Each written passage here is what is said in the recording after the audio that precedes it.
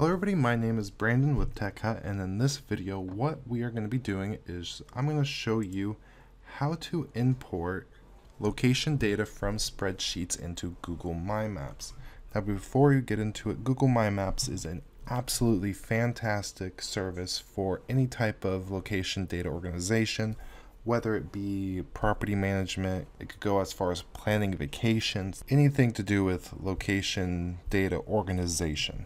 Now this is only going to be covering general importing and some of those features, so later on I will have a full-fledged tutorial on how to use Google My Maps, which will be more helpful for people using it to plan vacations. But this is for people with already existing data spreadsheets that they want to import and organize. Now, this isn't my data. I just pulled this from a uh, open source website, a government website, Colorado Department of Education. Uh, I just pulled a mailing list for their school districts and this is what it is. So we will be pulling this. Whenever you have data, it is important that you have two things. The first thing is the actual address. This is what it's going to use to pinpoint the locations on the map. And the second most important thing is something to give to the title or the title of the place marker. Those are the two things it's going to ask you for when you import it. Something else that's going to be kind of important just to make it look prettier is uh, something to go off of to group locations together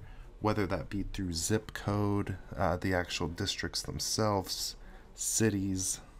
Or one thing I do for my job is if I have a lot of properties kind of together that are related, I'll call it a region. I'll make a whole column with a region so they're kind of grouped together and you'll see what I'm talking about in just a sec. So getting into it, first I'm going to kind of clean this up a bit. So I'm going to get rid of things that we don't really need for the video. So this I believe is irrelevant. So we'll delete those columns. We have the mailing zip code, uh, fax, district size, and district setting. So I'll get rid of district setting. Do, do, do. Delete column. So anything that is important to you when it comes to mapping this, and it may not seem important, but things like the phone number, district size, that's not necessarily important in mapping, but when you have the place marker, you'll be able to see that data. So we're going to go on, jump over here. All you do is create a new map and you click on import. Now here we're going to just download this really quick. So file, uh, download, download an Excel version and save the file.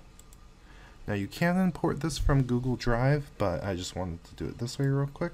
And we are going to drag and drop this right in here. You could do uh, CVS, Excel, and a couple other different spreadsheet files it's going to upload and as I was talking about earlier we're going to choose a column to position your place markers.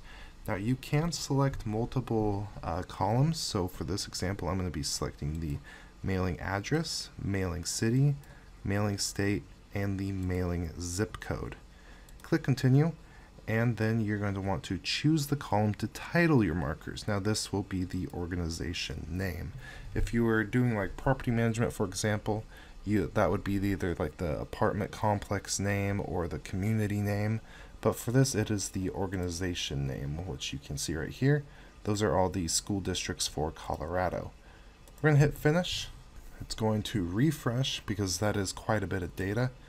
And boom this is all of the school districts for the state of Colorado now what I was talking about earlier with all the additional data is if you click on one of these place markers, you see all that data. So you have the county, the organization name, all your mailing info, the phone number, fax, and district size. So this is just good information to have handy. Now, what I was talking about earlier with the grouping by color is this right here. This is the uniform style. That's what's currently selected. But if we click on it, we can group places by and that right now it's uniform style so everything is the same if we click on that you can select a column to organize it. So every item with this specific piece of data will be grouped that way. So for this I would assume that the county might be a good one. So we'll click on county. And then it has organized it by county. Now, why some of these are gray is because there's too much data, there's too much colors. You can see all these different counties right here, and other or no value is these, because there's just so many different ones that there's not enough colors to do it. Now this is the districts for an entire state. I'd assume that if you're doing this for yourself or small operation, you're not going to have over 73 different values that you're going to need to work through. But we'll zoom in over here just so you can kind of see how it looks. So all of these by Colorado Springs, they're part of the El Paso County. Over here are the Kit Carson County. So it just kind of makes it look pretty, pretty er. Um, if you wanted to, you could go through all these other values. You could give them their own color. And you can change the colors of these by clicking this or going over here. This is Washington. So you can change colors that way. But there's only so many colors that you can do. And once it runs out of colors, it's going to make everything gray or make you go through and change it. So if you only have, let's say, five different items that you're basing these on, you're not going to have a problem. There's quite quite a bit more than that here. I'd say there's probably about 15 or 20 different color-coded items. Howdy everyone, I just wanted to pause my original recording just to kind of show you an actual map I work with every day. Um, this looks a lot better than the example that I was giving in the video because this is my actual data for something that I do. Um, you can see instead of over 74 like we just saw. I have one, two, three, four, five, six, seven different things. So there's plenty enough um, color codes to go around. And overall, it just looks good. I have the different regions, which I was talking about earlier in the video, sectioned, and everything just seems to blend together really well. And for my purpose, it is absolutely perfect. But that is essentially how you import data um, other things you can do, which will I'll go over in much greater detail in the full tutorial of Google My Maps, but you could go through and you can edit this data directly on the map. So if you notice that an address is wrong, you can move it through there just by double clicking on it, clicking edit and making any changes there.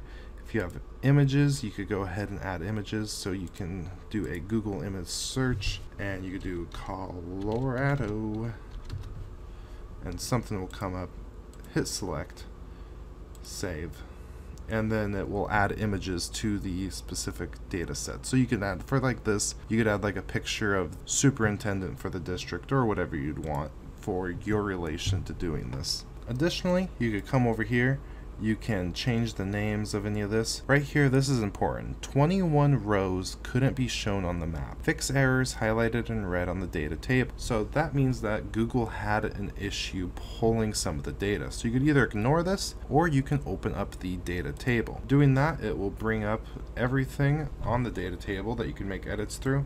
And you're gonna want to find the items. It's probably gonna be under mailing address. So we'll shuffle through here and try to find any errors right here. You can see all the errors for this are PO boxes. That makes complete sense. PO boxes aren't really generally locatable on a map unless if they're set up to be through the postal service. So these are not, that's fine. If you have an actual error that you know what the issue is, you could go through. Just click and start making some changes so you can, whatever the address is and work from there. So that is how you import data into Google My Maps and kind of get started on organization. There's way more to this piece of software. Um, you can scroll way down, you could change the base map here so you can make it look a little different. So we go like that. This is actually Colorado, so let's do an elevation. Do they have an elevation? Terrain. That'll do. So you can see where all the mountains are and everything like that. Um, if you have more spreadsheets to add, you can add a layer, and what that will do is it'll give you the option to import more data into this map, and well, you're smooth sailing from there.